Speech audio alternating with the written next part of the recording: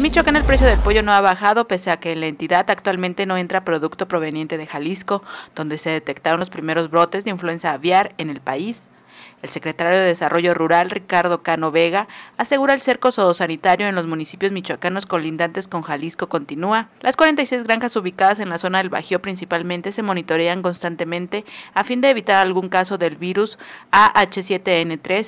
Hasta el momento no se ha detectado ningún caso de gripe de aves. El producto que está entrando está entrando de otros estados como una medida de seguridad. Estado de México principalmente que es el estado vecino que tenemos. Los comerciantes de pollo advierten una baja en las ventas a raíz del incremento en el costo por kilo, además del desconocimiento de la población por creer que hay riesgo en el consumo de la carne de ave. Sí, la venta sí ha bajado, la verdad ha bajado, pues sí, considerablemente porque la gente está temerosa de, de esta enfermedad y sí, sí ha bajado. Una por, por el miedo a la enfermedad y otro porque el, el pollo ha subido, el precio ha subido pues sí, considerablemente el, precio del pollo. Las amas de casa, como la señora Cristina, afirma no teme comer pollo ni huevo. Su dificultad estriba en el precio de la carne que ha mermado sus finanzas. Lo seguimos consumiendo porque tiene uno enfermos.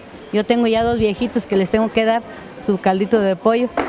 Le digo, ya tengo dos y, le digo, lo sigue uno consumiendo. En los mercados el precio del kilo de pollo aún está entre 40 y hasta 70 pesos, tres pesos más que antes de detectar la enfermedad en las aves de Jalisco.